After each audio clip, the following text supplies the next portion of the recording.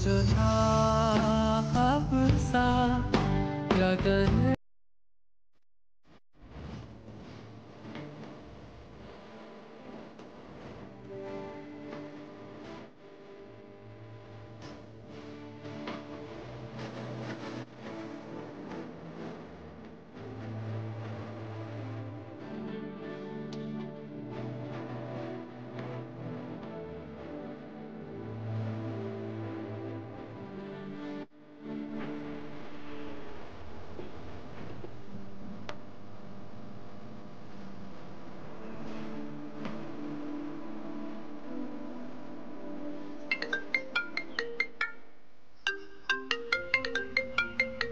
आपका फ़ोन थोड़ी देर तू और फ़ोन नहीं उठाता ना तो आज तो तेरी दादी ने मर ही जाना था। कैसी बातें कर रही हैं आप? और कैसी बातें करूँ? अच्छा वो सब छोड़ मुझे ये बता कि तू कैसा है और, पूर्वा? हम दोनों ठीक हैं दादी। पूरा मेरे साथ ही है। मुझे पता ही था कि सब ठीक ही होगा। अभी जो काम यहाँ पे करने आया था वो सब खत्म। काफ़ी टाइम वेस्ट हो गया ना। वहाँ मेरे पेशेंट्स को मेरी ज़रूरत भी है। अब यहाँ से चलता हूँ दादी। पूर्वा तेरे साथ आ रही है ना?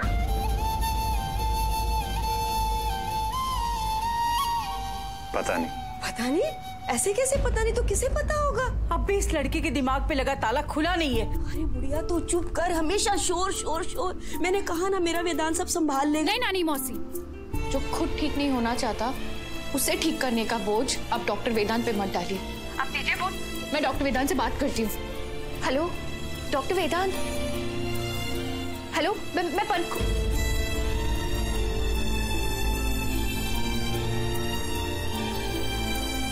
फ़ोन काट दिया। शायद लाइन कट गई होगी। शायद बोर्ड ज़्यादा पड़ गया। नानी मौसी। वेदांत, मैं अब वेदांत, मुझे आपसे बात करनी है। आई एम सॉरी यही सुनना चाहते थे ना?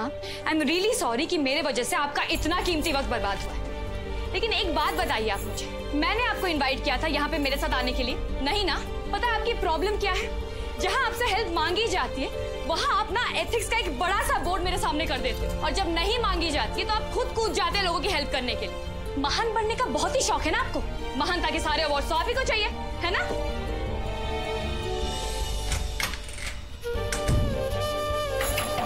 और ये क्या तरीका हुआ?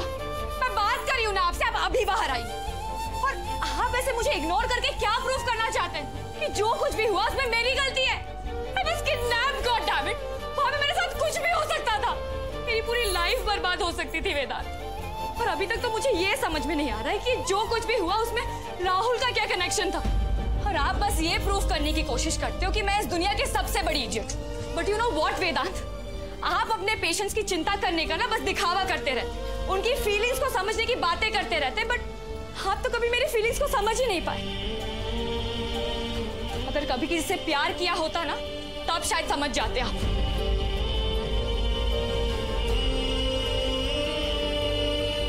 और वैसे भी, मुझे क्या पता कि आप अचानक से ऐसे दानवीर कर्ण बनकर मेरी हेल्प करने के लिए यहाँ तक आ जाएँगे। क्या इंटेंशन थे आपके? ऐसा भी तो हो सकता है कि आपको ये लगा होगा कि आप इस लड़की की हेल्प कर देते। आगे जाकर शायद वो बहुत इजीली मेरे साथ मेरे घर वापस आ जाएगी। राइट रॉन्ग इस इतने बड़े यूनिवर्स में कितने सारे प्लैनेट्स इतने सारे प्लैनेट्स में हमारा एक छोटा सा प्लैनेट उस छोटे से प्लैनेट के एक छोटे से देश के एक छोटे से शहर के अंदर बैठ के तुम अपने आप को कितनी इंपॉर्टेंस दे रही हो, पूर्वा? तुम अपनी ज़िंदगी अपनी शर्तों पर जीने का शौक है ना। अच्छी बात है। और मैं हर उस नज़रिए की इज़्ज़त करता हूँ जो मुझसे थोड़ा हटके हो। लेकिन पूर्वा, तुम्हारी ज़िंदगी में सिर्फ़ तुम ही नहीं, और भी लोग। तुम्हारा परिवार, तुम्हारे दोस्त, नानी पंखुरी लेकिन तुम्हारे लिए सबसे ज़्यादा इंपॉर्टेंट तुम हो।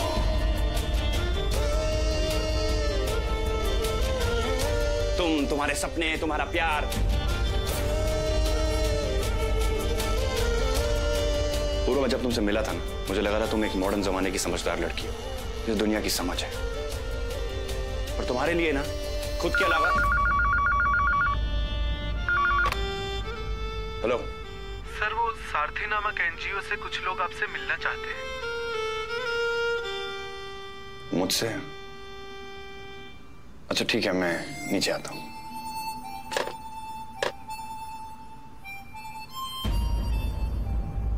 सारथी नामक एनजीओ चलाते हैं समाज में महिलाओं के अधिकारों की सुरक्षा के लिए। हमारी संस्था में आज एक छोटा सा कार्यक्रम है और उसमें हम आपको सम्मानित करना चाहते हैं। आई रियली अप्रिशिएट दिस पर आज मुझे वापस लौटना है। डॉक्टर वेदांत छोटा सा तो इवेंट है और इवेंट आपके ही रिसोर्ट में हमने ऑर्गेनाइज किया है। अगर आप आएँगे तो हमें ज़्यादा खुशी होगी।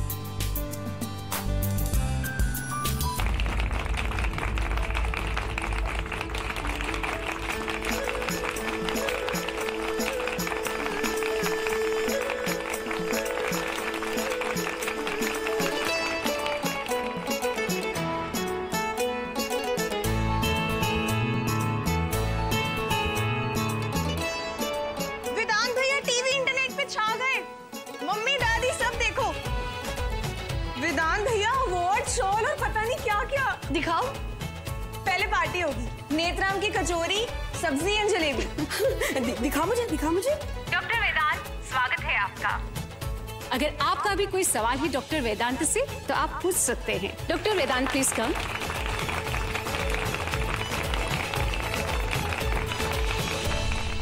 doctor Vedant ना तो हमारा देश सोने की चिड़िया है और ना ही हमारे देश में महिलाओं का सम्मान है। आज के हिसाब से आप महिलाओं का क्या रोल देखते हैं? पहले तो आप सबको मेरा नमस्कार। मैं आप लोगों को ना एक कहानी सुनाता हूँ। मेरे गुरु वैद्य श्री गंगादत्त त्रिपाठी जी। जिनसे मैंने सब कुछ सीखा है। एक दिन एक प्रेग्नेंट महिला की नब्ज देख रहे थे। मैं बहुत छोटा सा था और वो महिला बहुत चिल्ला रही थी। तो मैंने उनसे पूछा, इन्हें तो कहीं चोट ही नहीं लगी? फिर ये क्यों चिल्ला रही हैं? उन्होंने मेरी बात काटते हुए कहा कि एक औरत को एक बच्चे को जन्म देते समय इतना दर्द होता है कि मानो शरीर में करीबन 10 से 15 हड्डियाँ एक समय पर टूट गई हों। लेकिन कुछ ही घंटे बाद जब मैंने उस महिला को फिर से देखा, उनके साथ उनका बच्चा भी था तो उनके चेहरे पे एक बहुत ही खूबसूरत स्माइल थी। इसी संघर्ष और दर्द के साथ औरत एक परिवार को बनाती है। और बात सिर्फ़ दर्द सहने की नहीं है, भगवान ने उनके आंचल में हिम्मत के साथ साथ इतना प्यार भरा हुआ है कि कभी माँ, कभी बेटी, कभी बहन, कभी भाभी, कभी दादी बनके वो हर परिवार को एक बेहतर कल देती है। इतना ज़्यादा प्यार कि एक अनजान बच्चे को भी कभी कभी गले से लगा लेती है।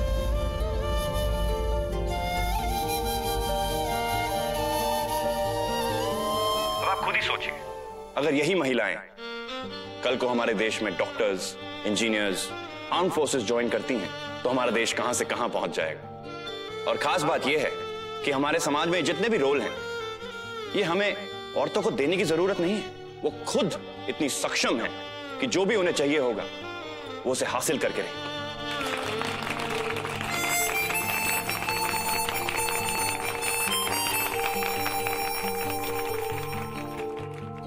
डॉक्टर वेदांत फाइटर्स की बात करें तो हमने सुना है आपने भी फाइटर्स की तरह किडनैपर से अपनी वाइफ की जान बचाई। उसके बारे में आप क्या कहना चाहेंगे? मेरी जगह पे अगर आपके हस्बैंड होते तो क्या करते? आपकी और मेरी छोड़िए। अगर यहाँ पे कोई भी और हस्बैंड होता तो अपनी वाइफ के लिए वही करता। मैंने किया।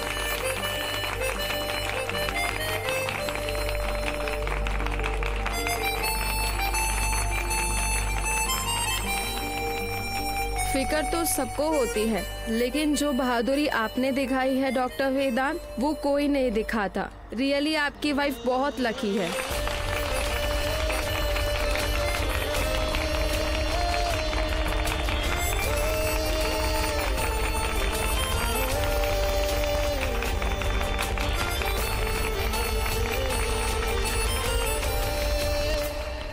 देख देखा फ़ोन पे वेदांत हैंडसम नहीं लग रहा? मुझे दिखाओ। बढ़िया देखिए।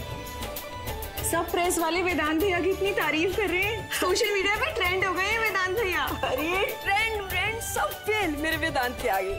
देखो ना अम्मा वेदांत कितना प्यारा लग रहा है। हाँ। जैसा कि मैंने पहले कहा कि कोई भी हस्बैंड अपनी वाइफ के लिए वही करता जो मैंने किया। लेकिन खास बात यह है कि पुलिस और कुछ लोकल लोगों की हेल्प की वजह से ही हम किडनैपर्स को पकड़ पाए। लौंडा नेता बन रहा है। अरे ताऊ जी तो फ़ोन ही ले गए। वैसे भी ना फ़ोन पर मज़ा नहीं आ रहा। राधिका टीवी ऑन कर। मंजुला गोमती सुमती आ जाओ। उमा मिश्रा कुमकुम का भाग्य मिस करेंगे। उनके देवर लल्लन मिश्रा सुपर डुपर फ़िल्में मिस करेंगे। तो इस चैनल के चुनाव में हाय कुमकुम भाग्य। इसे तो मैं कभी मिस ना करती। और जी सिनेमा पर फ़िल्में भी। जी चैनल्स देखते रहने के लिए हाँ, पर हमें क्या करना है? सिर्फ़ जी चैनल का सब्सक्रिप्शन लेना होगा। तो सिर्फ़ उनतालीस रूपए का है रमेश को बोलो ले दे। क्या? गुजरी लाल को बोलो वो देगा पैसे। वेदांत भैया।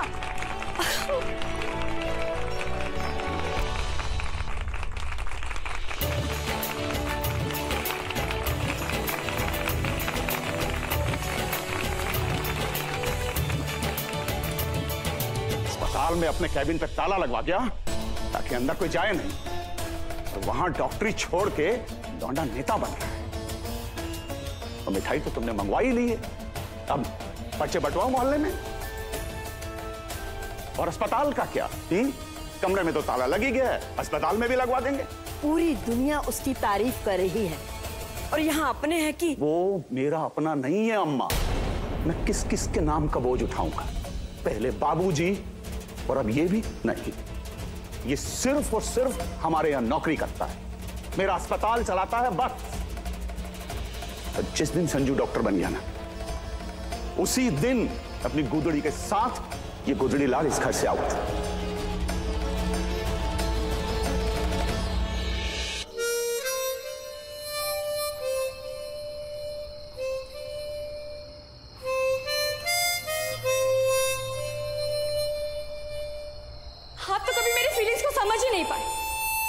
किसी से प्यार किया होता ना तब शायद समझ जाते आप।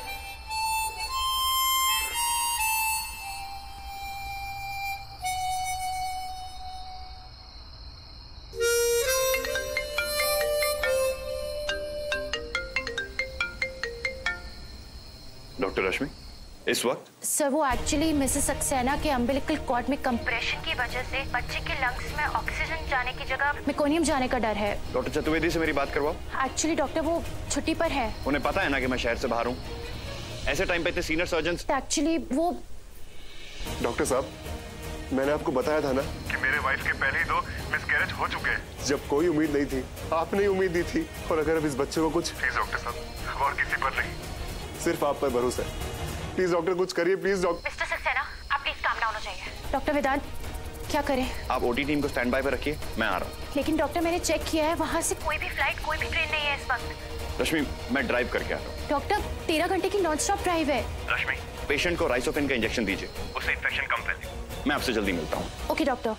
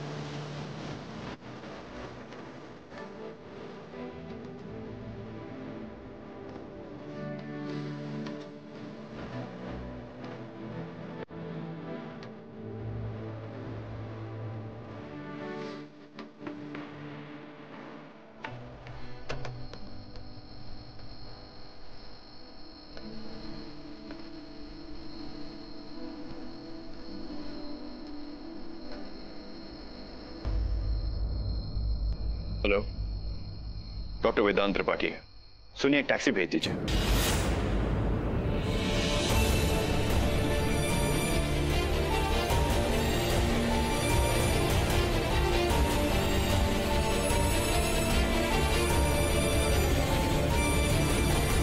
मैंने अपने सारे सपने बस राहुल के साथ ही देखे। अगर ज़िंदगी उसके बिना सोची ही नहीं तो फिर अकेले आगे कैसे बढ़ जाऊँ?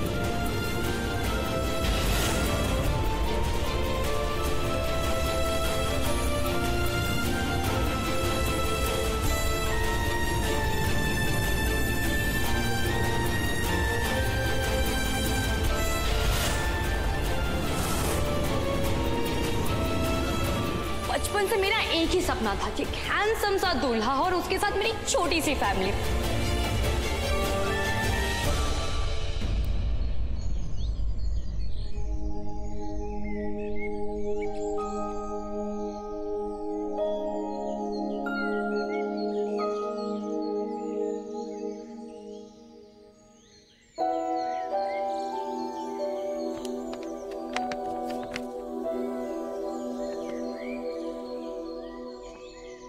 पूर्वा टेबल पे तुम्हारे लिए एक ट्रेन की टिकट और कुछ पैसे रखे। उसी के बगल में एक और लिफाफा है। मैं जानता हूँ कि तुम अपने फैसले खुद करती हो। इसलिए आगे का डिसीज़न भी तुम्हारा ही है पूर्वा तुम जो भी फैसला लो, मैं तुम्हें कभी गलत नहीं समझूँगा। और वैसे भी हर रिश्ता जिसे नाम मिल जाए, वो पूरा भी हो, ये ज़रूरी तो नहीं है ना? रिश्तों को बनाने से ज़्यादा रिश्ते निभाना ज़रूरी है। लेकिन अगर रिश्ता बोझ लगने लगे तो उसे निभाने में कोई महानता नहीं है, पूर्वा। अच्छाई इसी में है कि उसे खत्म कर दो। अगर तुम्हें वापस लौट कर आना है तो लिफाफे में रखे कागज़ को फाड़ देना। नहीं तो अपनी ज़िंदगी वैसे ही जीना, जैसे तुम जीना चाहती थी।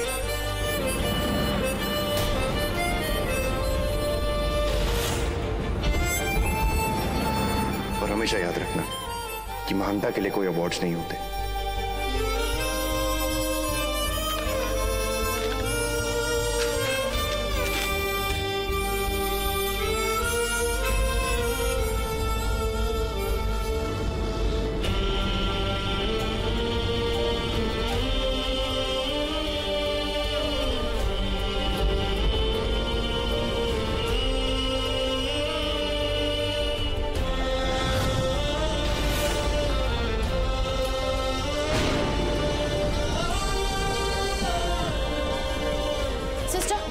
Sonography report okay? Yes ma'am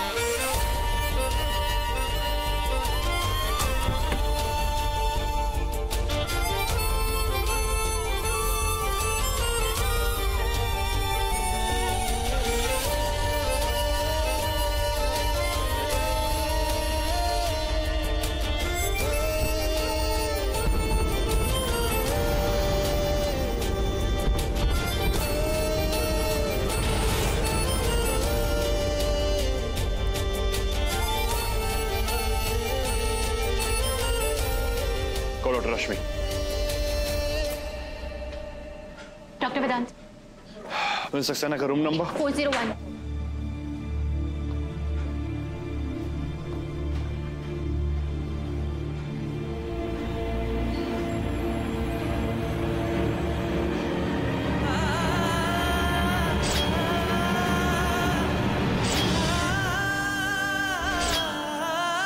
ना मैं इस शादी को मानती हूँ और ना ही मैं आपके साथ वापस आने वाली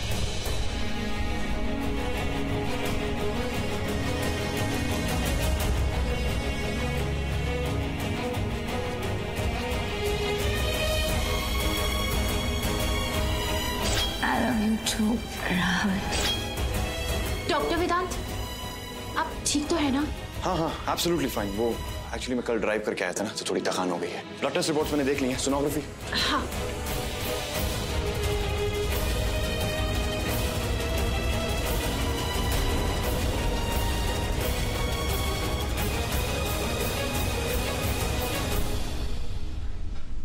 डॉक्टर रश्मि मुझे नहीं लगता डॉक्टर वेदांत डॉक्टर वेदांत थके हुए हैं।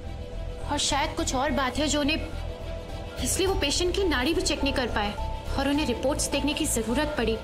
बट बट थकान या कुछ और डॉक्टर वेदांत इस वक्त में ऑपरेशन करने की हालत में नहीं है। डॉक्टर डिस्कशन का टाइम नहीं है guys let's head to the OT doctor Vedant आप इस वक्त थके हुए हैं।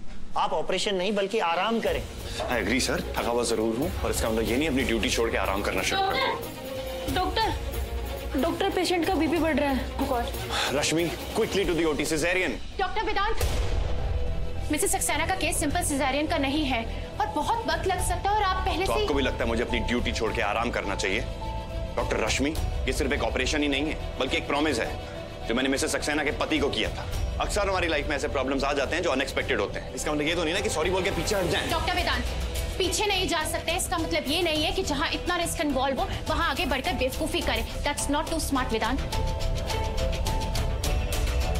I mean doctor Vedant, अगर मिसेस सक्सेना को कुछ हो गया तो उनके पति हम पर और इस हॉस्पिटल पे केस भी कर सकते हैं। आप अपने बारे में तो कुछ सोचिए। डॉक्टर वेदांत, दादाजी और इस अस्पताल का नाम तुमने बहुत मेहनत से आगे बढ़ा। अब क्या अच्छा लगेगा कोई उस पर उंगली उठाए?